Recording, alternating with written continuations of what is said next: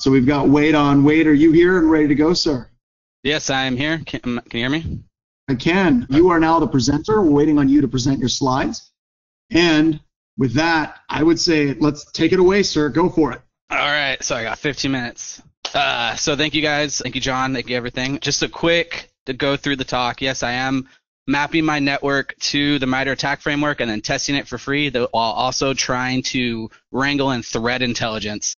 So real quick to show you the three tools I'm using are ATT&CK Navigator, Detect, and Atomic Red Team. All of them are absolutely free, and you can pick them up with a simply on GitHub. The big thing, what happened to me was my boss asked me, "What can I detect, and uh, how are we going to keep track of it?"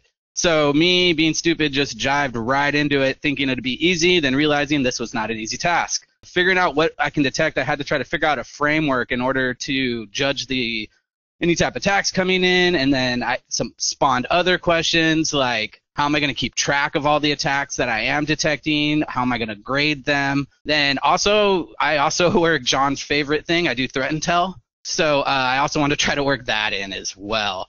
So the first thing I decided to really jump into is the MITRE ATT&CK framework. I'm just going to do a quick overview of it. Well, it appears that Wade is having technical difficulties with his microphone, and uh, well, it looks like Wade is gone now. No, I'm joking, Wade. Here's your here's your mic back. Oh no, it looks like I muted him, and then he really went away. It was just a joke. I can't bring him back. I'm gonna send him an unmute request on his side. Well, this flew up in my face. I thought it was right, going to be a that funny was, joke. That was pretty good. You totally got me. I was like, oh no. no, no, no. All right, you're back at it, sir. Have at it. All right, so just a quick overview. The MITRE ATT&CK framework, right? totally based off of uh, Cyber Kill Chain, right? Here's a huge picture of it. So just like you guys know, there's 11 tactics with 200 and around 266 different techniques. So my big hurdle was how am I going to display what I can detect out of this? The first thing I decided to do was to use Confluence. And so I made 11 Confluence pages for each tactic and then slowly started going through each uh, through each initial uh, technique and then writing my alerts in Sigma. Got about 60 techniques in when I realized this was not scalable and not good at all and uh, almost killed myself. So the one thing I found that I did like was the MITRE ATT&CK Navigator. So uh, the MITRE ATT&CK Navigator, of course, is also free. It's easy to use, easy configurable, runs off of Angular, Node.js, and then the main thing it consumes is JSON files. My last favorite is uh, there's plenty of free resources out there for it. Two big resources I found that a lot of people don't know that uh, MITRE provides is actual attack evaluations for tools and then threat intel on groups. Now you got to take both of these with a grain of salt, right? You can't trust them absolutely. You can see when the groups have been updated last. You can also see when the tools are updated. But I used these in order to pivot off some other stuff. So here is an attack tactic, right? So here are all the Iranian attack tactics, known TTPs that they use. Really liked how this looked out, and I figured I could use this somehow to map what I detected What's also really nice is if you hover over it, it gives you some basic notes and a little bit of a little does a little bit other things. If you notice, there's a bunch of tools on the right hand side. I'm not going to go over what they all do, but uh, there's a lot of power there in them just because I'm, I'm going to run out of time. One of the cool things, too, is you can combine two different APT groups. So here's a good example of APT 3 and 29, and then the legends down in that bottom right hand corner really like this, and my initial thought was uh, maybe I can edit that JSON file that gets uploaded into the MITRE ATT&CK viewer with my notes and maybe with what I can detect and make it look awesome. Originally, I thought that I was going to write something myself in order to edit that JSON, and then I was like, you know what? I'm not that great of a programmer, and there's probably someone else out there who did it much better. And what do you know? There was. I found this program called Detect, which is uh, Detect Tactics, Techniques, and Combat Threats. So the main thing it does is it helps you map your visibility and detection coverage is the way I used it. It runs via Python 3. So it takes YAML files that you fill out and then pumps out the JSON files that the attack navigator uploads. So pretty easy to use, has an interactive mode, can run through some commands, fun, simple. So the way I used it is that there's two data files on there that are both YAML. One is data sources, and the other is the administrator techniques file. So the data sources is pretty much what you're logging, right? There's 64 grading points on this, and they're judging device completeness, timeliness, consistency, and retention. So uh, they have grading already set up for you, but you don't necessarily have to use their grading. You can just make up your own. So here is an example of the grading on the right hand side. So for a good example, file monitoring, right? So I put in the products. Do I have analytics for it? And then my grades. At this probably was the hardest part of doing all this just because uh, I got my team together, emailed them all this YAML file, and of course, none of them emailed me back. So then I had to tell them to email me, and then I only got one back, and then that one person sent me back a broken YAML file, which then turned into a headache. So I, if you're gonna do this, I would suggest maybe printing this out or actually doing an in-team meeting and then discussing it. This also brings up a lot of questions on what your logging is and how you feel how good it is, right? Works out really well. Once you finish that YAML file, you pump it into detect and it gives you the JSON file to throw into attack and it looks something like this. So the legend in the bottom right hand corner shows you that the darker purple is what I'm logging somewhat decent to what I'm not logging great to white where you're not logging anything in that at all. I thought this was amazing. Right off the bat, I know what I'm logging. I know where I can build those alerts out. And I also, if you go to the next one, can give me, it also gives me a little bit of metadata on that. So the product on what's lo- what can log that, little bit of the monitoring, that type of stuff works out great. So that second file is the detection file. So I use the detection file in order to put on to put verified alerts that I've written that I know that I'm logging. So this first example is the signed binary pro- signed binary proxy execution, which is an excellent example because there's a million alerts I could write for this. So, and uh, if you see down in the comments, I actually have the alert names written down. I have the date, which is important, and I have my confidence, which is my score in that alert, and then also the location, which is in my EDR. They have their grading, same thing. You can use it, or you can just make up your own. I, I'm not gonna lie, I made up my own. After you pump that through detect, it pumps out that JSON file again, which gives you this. On a one to five, shows you what you think you're good at detecting. With the blue is what you're detecting and you have zero on, and then white is maybe you're logging but you don't detect it necessarily. So it does the same similar thing as the last file, as the data source file, and it gives you notes. So you can see who it's applicable to, what your score is, and then maybe where that alert is located, and then some technical comments if you have them, which is really nice. The next big thing was how do I get those files together? And what's nice is Detect will actually layer those files for you, which looks something like this. So the blue is what I have visibility in, the uh, and the orange is what I have visibility in and detecting and the white is where I don't have anything in, right? So I have, in this example, I have a lot of room to make up to start building out or at least verifying alerts within those blue entities. And another big thing that Detect does is, uh, if you guys remember how I said it was important to put those dates in the alerts, it also gives you a graph on how you're improving. So the reason I loved this is managers and VPs or whatever love to see graphs and love to see improvement. So being able to show them, hey, this is what we're logging and detecting, and this is our improvement, they go off the walls for it. One thing to keep in mind is this graph is based on uh, MITRE attacks and not necessarily alerts you've written. So for example, this may cover 25 different MITRE attacks, but you may have written around 50 alerts for this, which definitely happens. So the next thing that it also does is it does a little bit of stuff with APT groups and ju- pushing them all together. So here's a heat map of actually all the Iranian attacks from before. So what I did is I did some threat reconnaissance on all the Iranian groups, pushed them together into a single file using detect, and then it gave me this heat map on the attacks they're most likely to use or most known to use, right? You want to take it with a grain of salt. Really good if if you can do this, which is layering those attacks on top of your de- detections, right? So on this, the uh, green is what I'm detecting, the yellow is what I'm logging and not detecting, and the red is what they're using. Oh, I'm sorry. The uh, green is what they're using and what I'm detecting. That's what it was. I totally forgot to put the legend in this one.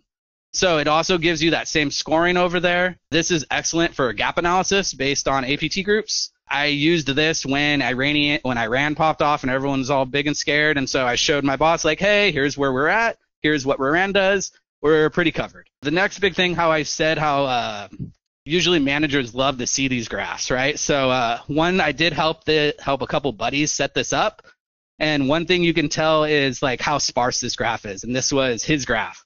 And so he went to his VP and said, Hey man, like here's all my attack. Purple is what we're detecting. The white is what we're not detecting. If we were to get tool X tool and Y tool, we'd be able to cover this, which then starts a conversation on how much they're missing and the risk that they're really, the risk that they have for not having the correct tools. So this all leads me back to the detections, right? If you're logging, fine, but how are you sure that you're actually detecting what your detection file was written? So I used Atomic Red Team in order to verify all those detections that I wrote in the detection file. Atomic Red Team, super easy to use, right? Developed by Red Canary. It's organized by attack ID. The best part is it's automatable. Automatable, yeah. So it has a PowerShell, Ruby, and Python. The right hand side is actually a copy of uh, what the uh, automated Python is. You just give it a attack. So in this example, it's remote file copy, and then you can choose which t- which type of remote file copy attack you can have it run. One thing I really like to do though is using the left hand side is the YAML file that the automation is using. I tried to run all the attacks by hand myself just so I can understand how they actually work and perform. And if there is any difficulties on my system, actually me running them. Uh, it worked out really well. I actually learned a lot on both sides. So the only other really stuff I have to say is automation wise, I'm trying to build some tools that go into all of my security vendor tools and pull out the alerts. I renamed all of my alerts and everything on MITRE ATT&CK framework. So having that T whatever indicator in my alert rules. So, for example, right now I have a script that goes through my EDR, reads all the alerts, and then edits that detection file and updates it for me. So now I don't even have to edit the files, it'll just automatically update. I have a couple other automation ideas, but I haven't really had them go all the way through. And that's it. Thank you guys. Uh, I'd like to give a big shout out to the guys who made Detect which is Marcus Bakker and Ruben Bouman. They uh, they're on Twitter. They're I hit them up a little bit and said their tool is awesome. Big thanks to Red Canary and MITRE ATT&CK. Uh, I'd also like to say one good thanks to John Hamm because he uh, actually gave me this idea a little bit. He sparked the flame when I was in his 511 SANS class, and that's it. Ugh. I know it was really quick. I'm sorry. I wasn't sure if I was going to make it.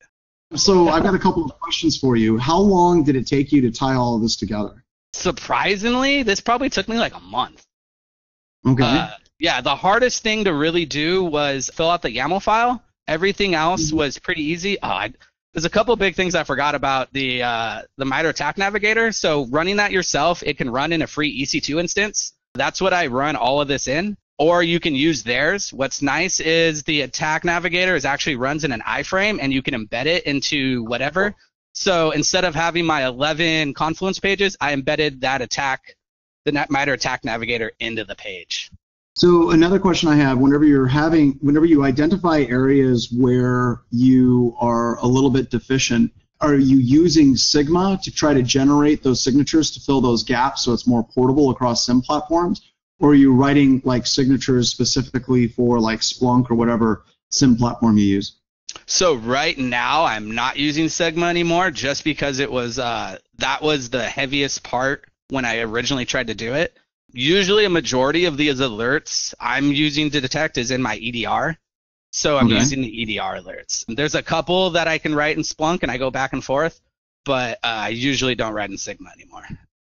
Okay, now that's just because is that because Sigma doesn't support the flexibility and the syntax that you would get directly in Splunk? Correct. Uh, I, so like uh, I think the syntax for my EDR wasn't in Sigma at the time mm-hmm. I was using it, and so I was like, if I'm gonna write it in Sigma, it's only gonna be good for my SIEM and not my EDR. So there's no point at the moment. Right. What was interesting though was going. I would go through Sigma and read the alerts and then convert those to my EDR. Okay. Then Jeff McJunkin asked a question. He said, How long would it take for you to do this in another company if you tried to do this again? Since it took you a month, you you kind of banged your head on some walls. Yeah. How fast would it be to set it up again? Before I worked, so to give you, I work in a very small team in in the fintech, and beforehand I worked at a managed security provider, and I the first thing I thought is like, man, people should do this as a service. but I think it would as long as you guys had that YAML filled out, it would take me a day. The YAML thing, the YAML knowing what you're logging and you grading your logging is the hardest part. Yeah, and it Uh, seems like that's kind of subjective a little bit. Like you got to Oh, trust yeah. and set it up properly. Definitely. And that's why so that's why you should probably should use their their grading rubric just so you understand a little bit. I, Mhm. I'd say the other harder part is testing all the alerts in Red Canary because sometimes you'll test one and it doesn't work and you'll have to figure it out or you'll have to write a new alert or a little bit. That's more of like the constant improvement area. It- it- it's Uh, oh, I, I love this. Jeff just said uh, this is the one time I'm going to say Jeff. Uh, I'm going to disagree with Jeff. Jeff said sounds like you should fire all the Atomic Red Team things at once and see what's being monitored. Traditionally, I've had trouble with Atomic Red Team firing absolutely everything. It's better to take it in small, discrete sections. But I think the idea is sound, right? Fire it off, stimulus, and then see the response back on the logs. Correct. Usually what I would do is right when I get into work, I would fire off maybe two or three and then come back to it later in the day and see, okay, what did I see? I tried to use a couple other red team tools like Caldera and stuff, but I kept going back to uh, Atomic Red Team just because of the sim- simplicity around it. So like Oh. everything, everything here is like a GitHub pull that I just pulled down and I felt like Atomic Red Team was easier than Caldera. And I love? Jeff's response. He goes, YOLO. All that YOLO is great. No, no, I absolutely agree. And I think that that would be the, the kind of the holy grail is if you could fire off like Atomic Red Team and have it go all the way through and then have something like Detect say, okay, you ran this. Here's what I was able to see in the logs. That would be just awesome. So, but time, right? Only so much time. Exactly. Yeah. It uh, it worked really well for only having a couple people. I couldn't imagine if like a large enterprise had this and tried to like actively use it all the time. It's Mhm. I also really liked it just because the threat intel part, right? So I'll do all my due diligence and then be able to show us like how we're doing against stuff. But And, I- and I think that especially, like as much as I have the seeding hatred for threat intelligence, um, being able to answer the question to management, like, oh my God, these Iranians are hacking us. Are we ready? Just to be able to show, yeah, we, we've got this covered. I think giving them some level of peace of mind that you're you're not incompetent is a very good thing. And then final question, would you be willing to come back and do a webcast for Black Hills Information Security slower over an hour on this topic? absolutely. Okay, very cool. We'll hit I up would- Jason I and would- get you schedule. Cool. I would love to do that. It would No. make my ear. Just being here, All right. reading this, doing this made my ear, and then meeting. I met you at uh, BSides in San Diego. That was uh, a big deal for me.